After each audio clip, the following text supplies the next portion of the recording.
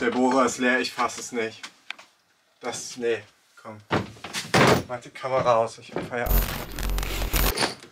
Was haben wir denn da? Wen haben wir denn da wieder gefunden? Ah ja. Na sieh mal einer an. Frisch und erholt der Bengel. Frisch rasiert. Seiten auf Kontostand. Nein, Seiten auf Iveco-Fortschritt. Macht alles keinen Sinn, ne? Doch, Iveco-Fortschritt trifft's ganz gut. Iveco-Fortschritt. Ja, herzlich willkommen zu einem neuen Video auf dem Fuschblos-Kanal. Heute äh, bin ich mal wieder nicht verkatert, sondern diesmal ein bisschen fertig noch von der Reise. Gestern 800 Kilometer zurückgepumpt mit dem CL ohne Klimaanlage. Ach, den ML kann man jetzt sogar auch. Ja, endlich darf ich ihn mal im Hintergrund zeigen. Endlich, muss nicht mehr unnötige Schnitte machen. Erstmal fülle ich mich mit Koffein und dann voller Elan den Iveco durchschallern. Denn ich habe sehr zu Philipps Freude äh, bereits das nächste Projekt in Angriff genommen. Das wird auch hier auf dem Fush Bros Kanal äh, zu sehen sein. Mehr kann ich an der Stelle nicht dazu sagen, aber das beschleunigt natürlich den Iveco-Fortschritt jetzt umso mehr. Zusätzlich äh, habe ich von meinen Eltern einen Zahnriemenwechsel für den Iveco geschenkt bekommen. Das heißt, der Iveco wird jetzt fertig geschallert, dann kommt er zum Iveco-Händler, kriegt den äh, Zahnriemenwechsel und dann geht es eigentlich auch schon auf die erste große Reise mit dem Gefährt.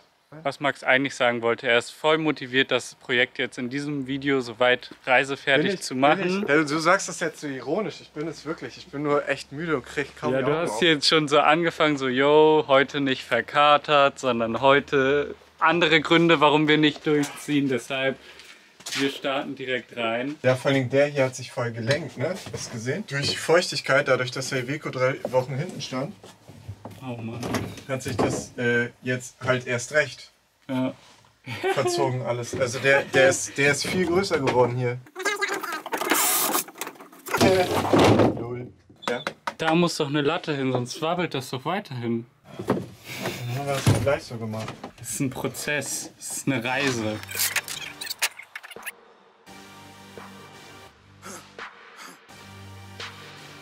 Victory lap though. Whoa, whoa, they ain't never seen nothing like this before. Lit the room when I came through the front door. Ask me if I should what for? Train in the trees, please my sycamore.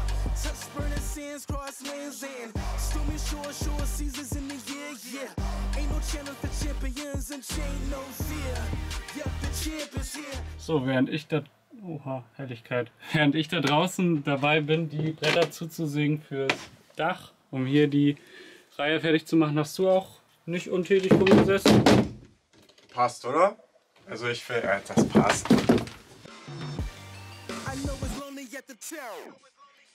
But that's not by speculation. But the position that I got, I climb too high to fall, way too hard to drop. Stop clocks on the speed bag. Every under pressure, no jet lag. This is greater than trophies and saluted flags. Titles of fame, the cost is paid. Yay, I, I, I carried the cross I made. Dealt with the dealer. Baby, the hand was played. New level, next stage. Learn to lead a legend. Now tell me what's my next stage. Yay. I said the champ is here. Switch gears. We keeping haters in the rear. As the blood, sweat, and tears in my goal so near.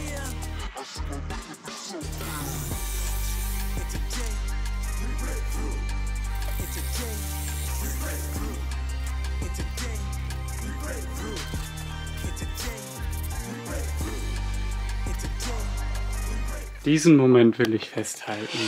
Max und der Bohrer. Ich pack mich hier die ganze Zeit fest. Weil, guck mal, wie rostig die Schraube ist. Das sehen wir. Mama.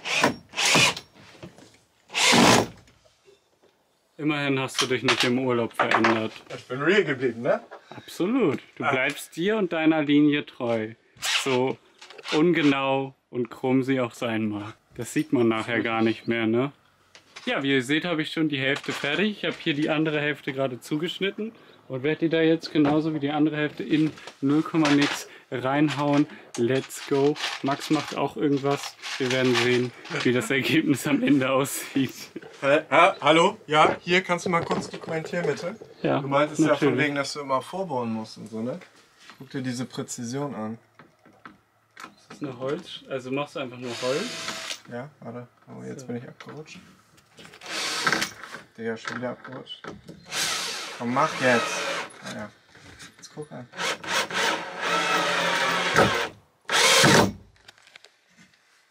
Junge, Junge, hast du deinen deinen Urlaub in der Holzwerkstatt verbracht? Wie hast du das hier gemacht? Ja, da so. sind zwei Latten hinter. Oh nee, gar kein Bock. Ich glaube, ich lasse das so. Ja, ich Lass das so wackelig. Ich Ja, hasse ich das so. Stabilität. Top Sache. Knall ich die hier noch ein und dann ist gut. Ja, dann ist gut, ne? Dann, dann ist eigentlich auch schon viel Arbeit getan von dir, ne? Ist ja krass. Zwei, zwei Bretter. Jetzt. Wusstest du eigentlich, dass das Blechschrauben sind? Echt? Ja, aber ist ja auch egal. Hat ja den Vorbesitzer auch nicht interessiert. Ich will ja eigentlich weiterarbeiten, aber das ist so faszinierend, dir zuzugucken, wie meisterhaft du dieses Ding da reinbutterst. Du, es funktioniert. Ja, eben, das ist das Wichtige. Weißt du, das ist der Unterschied zwischen uns beiden. Du schnackst immer nur, ich mach. Ich pack Ja. die Sachen an, weißt du? Du Macher. Ich bin Macher. Der Macher. Zack. Und die nächste Latte. Das heißt, dahinter nicht hält und mit durch die Schwingung brechen kann, das wird gekonnt ignoriert. Wir wissen die Fehler alle schon vorher. Wir ignorieren sie nur einfach. Das ist der Trick. Jetzt mach die Kamera aus, komm. Das wird mein Merch. Nicht lang schnacken, anpacken. Ich spare mir sogar mit jedem Durchgang eine Schraube, dadurch, dass ich mal an zwei Punkten verschraube. Ja, ist ja auch ein Budget-Camper.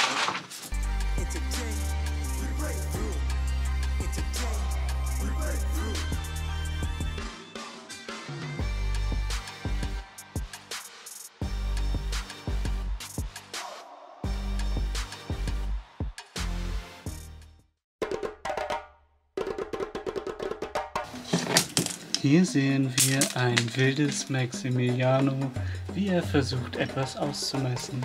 Natürlich hat er sein Werkzeug ganz woanders hingelegt, als da, wo es benötigt wird.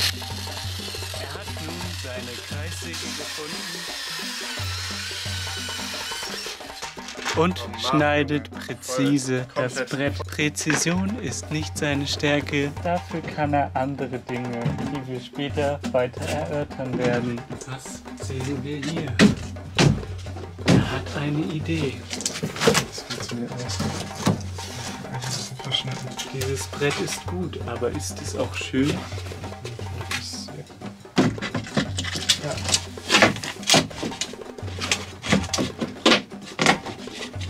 Kann man so ein absoluter Pfeifhead sein? Was vielleicht? Also komplett auf Spannung ist eigentlich auch nie gut in solchen Konstruktionen.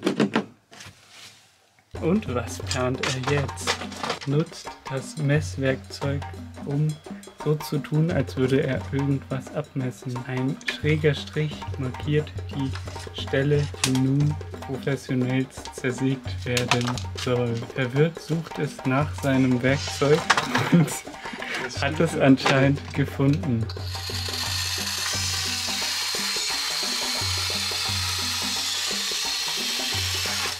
Ich habe jetzt extra daneben gezielt. Und zwar so gezielt. Und dann hat er über, überhaupt mal geschnitten. Naja, du hast da doch eine Markierung, wo 0 steht. Nee, der macht das nicht. So. Deswegen, so. deswegen verschneide ich mich auch immer. Och, nö. Wave after wave.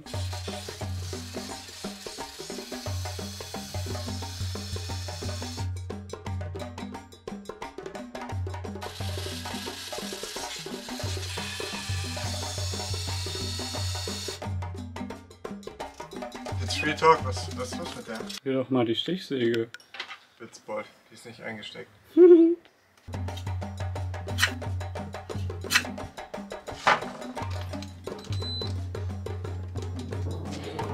Ich habe keine Zeit jetzt zu laden, ey. Ganzes Hallo-Video. Ja, ist gut jetzt. Jetzt, wo ist das Aufladegerät? Dann musst du ja eh die Stichsäge besorgen. Und hättest du nicht deine ganze Ka Verkabelung da hinten hingelegt. Hier ist das Aufladegerät übrigens. Kapi, kannst du auch kurz ein Verlängerungskabel holen. Der aufgeräumte. Hast du das so schön zusammengelegt, sag mal?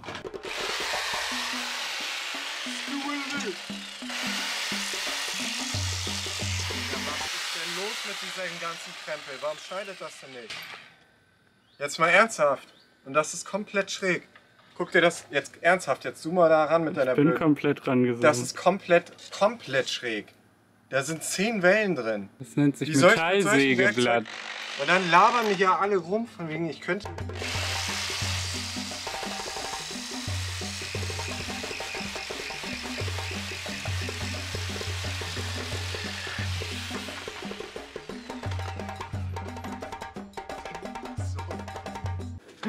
Naja, yippie, yippie. Respekt, wer selber. Das ist jetzt die letzte Stelle, die mir hier noch bleibt, wo ich Stehhöhe habe. Ansonsten ja, wird es dank des Saunaumbaus ein bisschen eng überall. Ich bin jetzt gerade dabei, hier noch das Fenster auszuschneiden. Da habe ich mir diese kleinen Dinger hier hingeschnitten und habe hier wunderschön einfach so eine Holzlatte reingesteckt. Hier habe ich zwei Holzlatten reingesteckt. Das Ganze soll dann hier von der langen Latte, die jetzt hier wieder hinkommt, wird das Ganze dann gehalten. Also diese Querträger hier. Ich glaube, man kann sich das ungefähr vorstellen. Ne? So, und an den Querträgern befestige ich dann hier noch eine Verkleidung.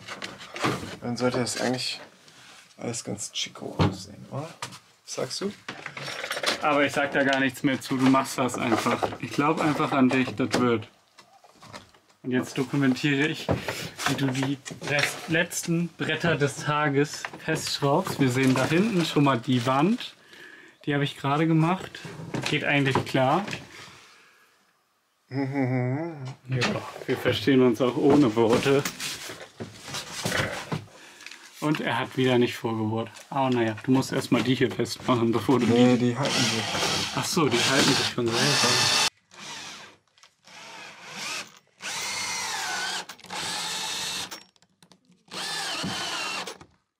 Wie heißt diese Bohrtechnik, die du da anwendest? Ich habe eine Beule auf dem Kopf. Warum nochmal? Weil ich hier, hier mich reingehauen habe. Ja. Jetzt tut die auch noch weh. Ich würde mal sagen, wir machen Feierabend, ne? Dein Ernst? Ja, ich mach das morgen weiter. Du machst das morgen. In Ja, vielen Videos hast du das schon gesagt? Nee, im nächsten Video ist es fertig, versprochen, Freunde. Ja, hier, hier guck, 1956. Jetzt kriegst du jetzt in den nächsten vier Minuten nicht zusammen und wir müssen auf die Nachbarn achten. Ich würde sagen, herzlichen Dank fürs Gucken dieses Videos. Es ist nicht so geworden wie erwartet, aber was funktioniert schon so, wie man es es ist plant. viel besser geworden. Bam. Okay, an der Stelle sieht man einfach die perfekte Welle, aber Was für eine Welle. siehst du dann im Schnitt. Sieht super aus. Okay. Die haben wir auf dieser Seite nicht. Man sieht wo ich den Rahmen gebaut habe. Guckt es euch an. Aber man kann sich schon sehen lassen, das ganze Riesen-Step nach vorne. Sieht cool aus. Sauna-Optik am Start. Wenn ihr das Video bis zu dieser Stelle geguckt habt, überlegt euch zu abonnieren. Wird uns auf jeden Fall freuen, wenn ihr an Bord seid. Und ich würde sagen, wir sehen uns beim nächsten Mal. Bis dann. Ciao.